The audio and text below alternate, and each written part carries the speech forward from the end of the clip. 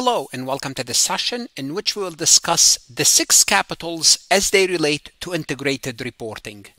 In the prior session, we looked at integrated reporting and integrated thinking.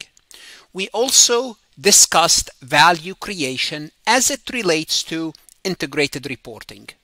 Now, to create value for the company and its environment and its stakeholders, we need resources. Resources means what? We need things, assets, physical assets, non-physical assets, people, so on and so forth. Resources referred to as capitals.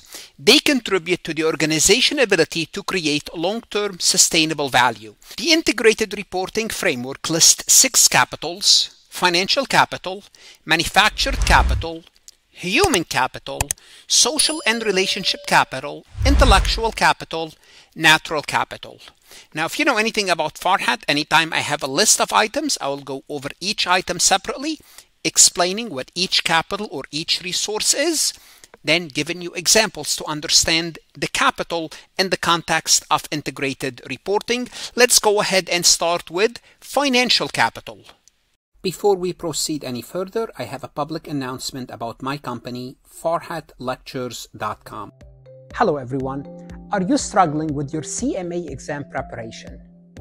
Do you feel that your review course is moving too fast, too brief, or not covering topics in depth?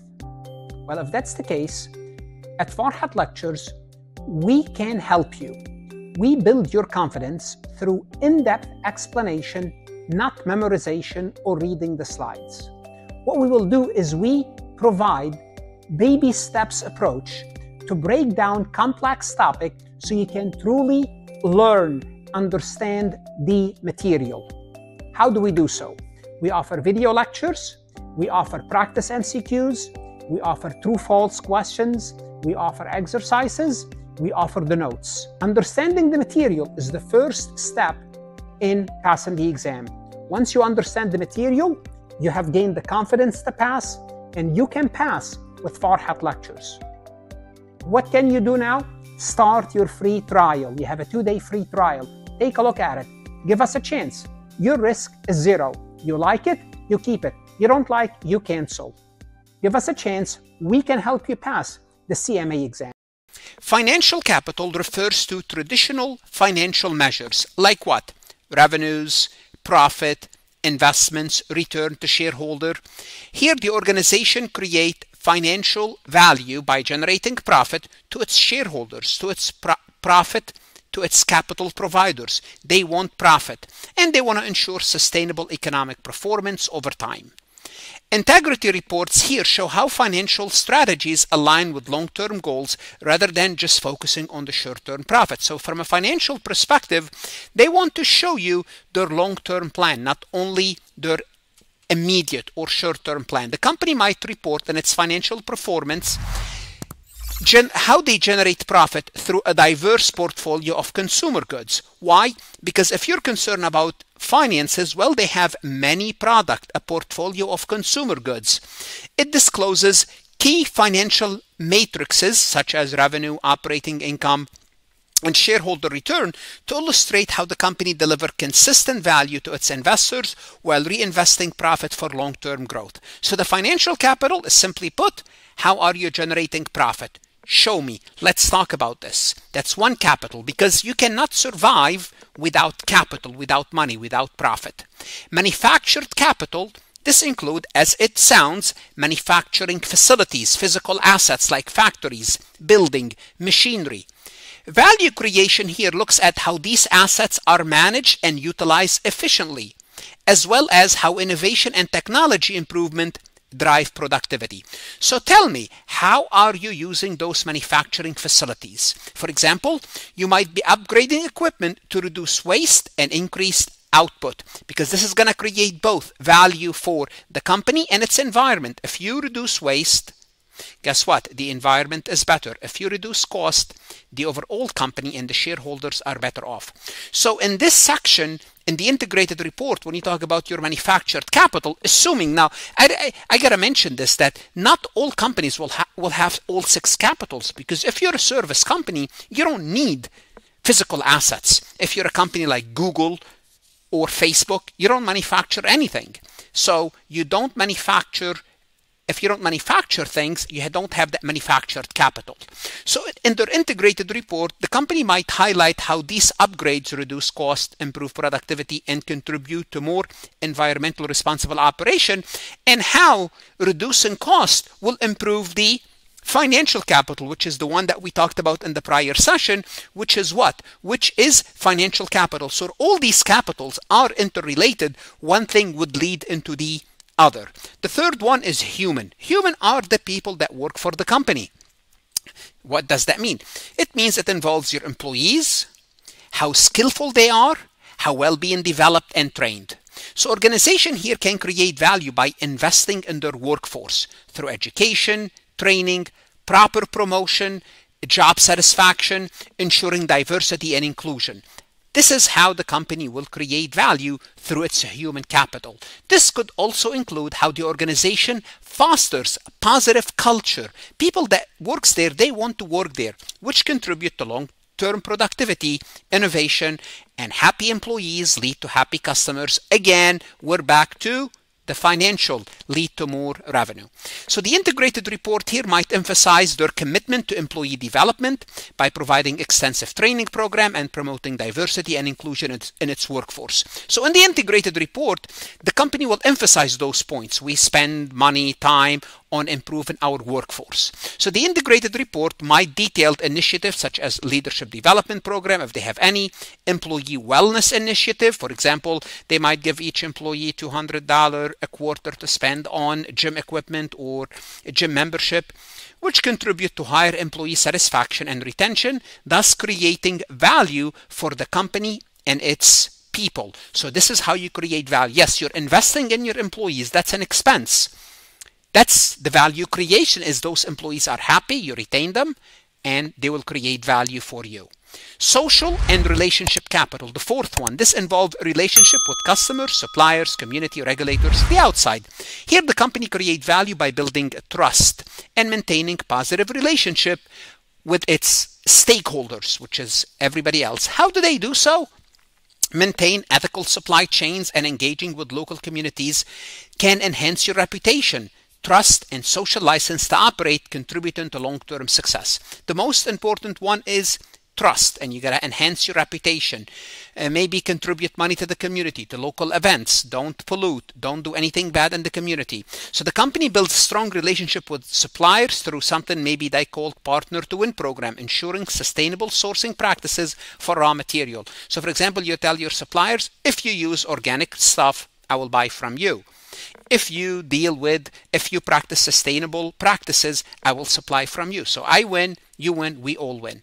So by working closely with suppliers to promote ethical practices and fair labor standard, the company enhances its reputation, builds trust, strengthens its, strengthens its supply chain, benefiting both the company, the community, its suppliers, the producer of these goods and services.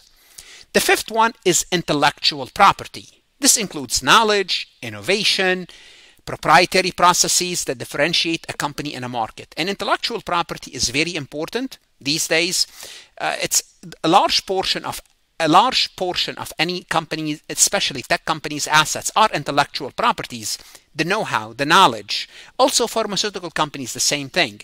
So intellectual property is very important. We call it in accounting, the traditional term is intangible asset.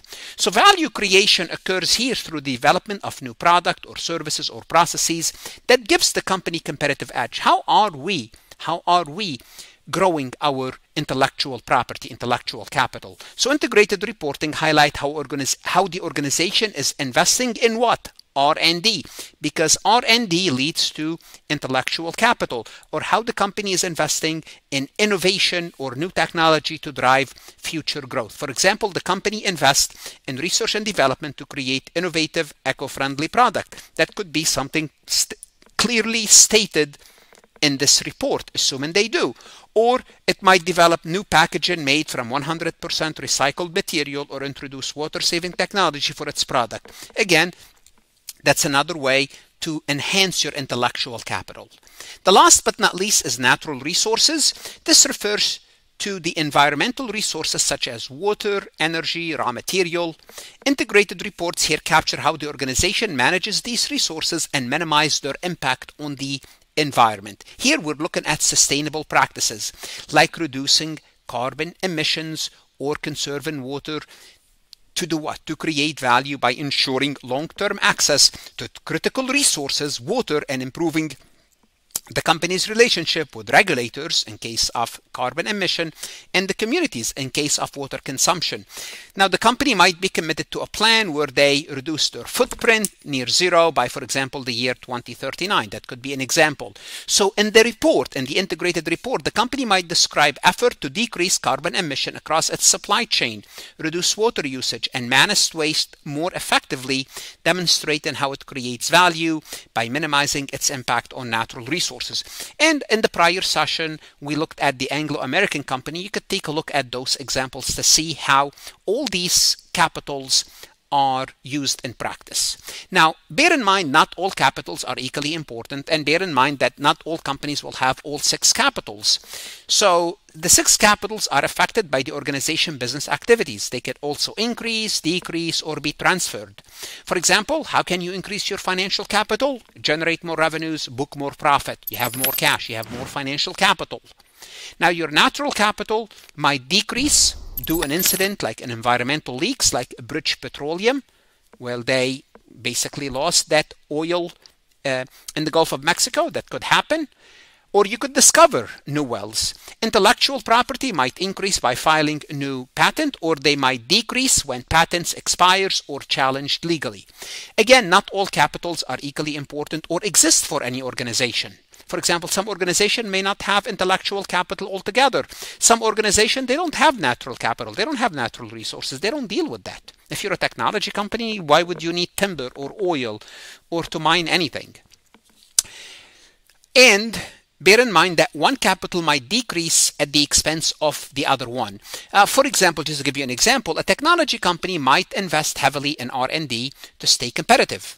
In this case, what's going to happen if they invest in R&D, their financial capital would go down. Why? Because you need to fund R&D. As you fund R&D, you're funding your human capital, you're funding your intellectual capital. With this decrease in the short term, you're increasing intellectual capital. Also, when you invest, also you're investing in your employees and the people that does R&D. And the reason is to develop new patent and product and technology. And the reason is to, at the end, increase the financial capital, the financial resource. So this trade-off benefit the company in the long run as the growth in intellectual capital leads to innovation, to new product, generate future revenue back to the money, ultimately boosting financial capital over time. So notice we go back and every in every capital we go back and says it's going to eventually lead to more money. And this is the whole idea of of doing what? Value creation. Value creation through financial and non-financial means. So in this example, the, company, the company temporarily reduced financial capital to enhance intellectual capital, prioritizing long-term growth over immediate financial gain. Let's take a look at this multiple choice question from farhatlectures.com. A global food retailer builds strong partnership with local farmers to source sustainable ingredient. This practice enhances which capital? Is it manufactured capital? It doesn't say anything about my physical asset. I would say that's an easy elimination. Social and relationship capital. Am I building some sort of a relationship? If I am building a strong partnership, I would keep this one on hold B. Financial capital. Um, a global food retailer builds a strong partnership. It doesn't say anything about profit or revenue, just strong relationship. I would say I will I will eliminate C. Natural capital. Uh, and what what the natural capital is natural resources. Uh, not necessary. I am dealing with the farmers. The farmers might have the natural resources, but it's not enhancing my natural resources. I would say the best answer is B, social and relationship capital. If I'm building strong partnership with local farmers, I am building a strong relationship with my community. Social capital, my relationship with people who operates, especially if they are one of my suppliers. That's even better. So the answer is B. That's the best answer. What should you do now? You want to go to Farhat Lectures, look at additional MCQs, especially if you're studying for your CMA exam, CPA exam, accounting courses, finance courses, or some sort of a professional certification. Invest in yourself. Farhat Lectures is always here to help.